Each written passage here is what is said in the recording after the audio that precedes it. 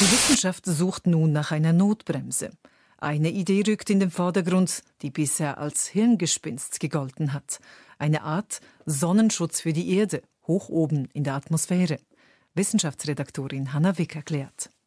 Die Erde kann sich nicht einfach in den Schatten stellen, wenn sie schwitzt. Unermüdlich brennt die Sonne auf sie nieder. Wie also könnte man ihr Kühlung verschaffen? Zum Beispiel mit unzähligen winzigen Teilchen, die wie kleine Spiegelchen hoch oben in der Atmosphäre herumfliegen. Sie würden das Sonnenlicht gleich wieder ins Weltall zurückwerfen, erklärt Thomas Peter, Atmosphärenchemiker an der ETH Zürich. Und das führt dazu, dass viel Sonnenlicht erst gar nicht eingekoppelt wird ins Klimasystem, ergo eine Abkühlung stattfindet. Diese Idee nennt man solares Geoengineering. Und dass sie funktionieren könnte, weiß man von Vulkanausbrüchen. Deren Auswurf kann hoch oben in der Atmosphäre als Sonnenblocker wirken und die Erde deutlich kühlen. Vielleicht ließe sich das nachahmen, indem man aus einem Flugzeug Sonnenschutzteilchen in die Atmosphäre hineinpustet. Doch das Unterfangen wäre heikel, denn der Sonnenschutz könnte auch zu ganz unerwünschten Resultaten führen, zu Überschwemmungen und Ernteeinbußen zum Beispiel. Viele Fachleute und Umweltschutzorganisationen stehen dem Geoengineering deshalb sehr skeptisch gegenüber.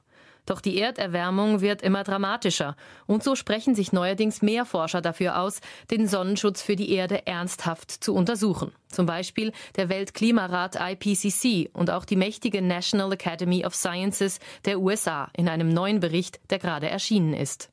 Damit werde das Thema nun salonfähig, sagt Ken Caldera von der Universität Stanford in Kalifornien, der am Bericht mitgeschrieben hat. These ideas have kind of moved from the fringes more into the mainstream. Und das sei auch gut so, meint der Forscher. Man müsse mehr über Geoengineering wissen, denn es könnte hochgefährlich sein.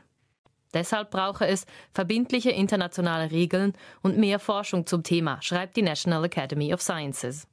Sie denkt nicht nur an Simulationen im Computer, sondern schließt auch Experimente unter freiem Himmel nicht aus. Gut möglich, dass bald irgendwo ein Flugzeug kleinste Mengen Sonnenblocker in die Atmosphäre einbringt, im Namen der Forschung. Ja, und hier haben sie halt schon die letzten Minuten und Stunden gemacht. Also es ist so schlimm heute gewesen. Auch da hinten, aktuell wieder, ne? Es sind immer so viele auf einmal bei uns. Es ist so zum Kotzen. Ich halte es nicht mehr aus lange. Das ist, ja, hier kann man jetzt. Ah doch, Sonne steht noch hoch genug. Hier zwischen den Dächern, ne? Aber ja. Heute, ich muss es einfach noch mal dokumentieren. Das ist nämlich heute so schlimm wie lange nicht. Einfach weil gar keine Wolken da sind. Und oh Gott, sieht das aus. Da. Schaut das euch an hier. In die Richtung haben sie auch ein paar Streifis gemacht. Da ist gerade aktuell einer. Ne? Tut mir leid, dass das verwackelt ist, aber ihr habt ja gesehen, wo ich stehe. Ja, hier, hier, hier. Es ist heute so schlimm, was die hier machen. Das ist das größte Verbrechen an der Menschheit, was man sich vorstellen kann.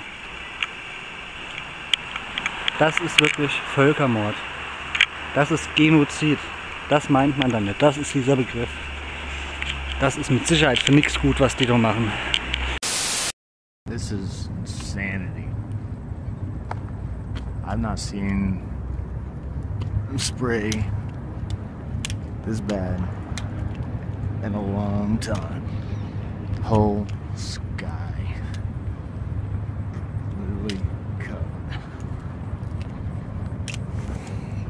crazy.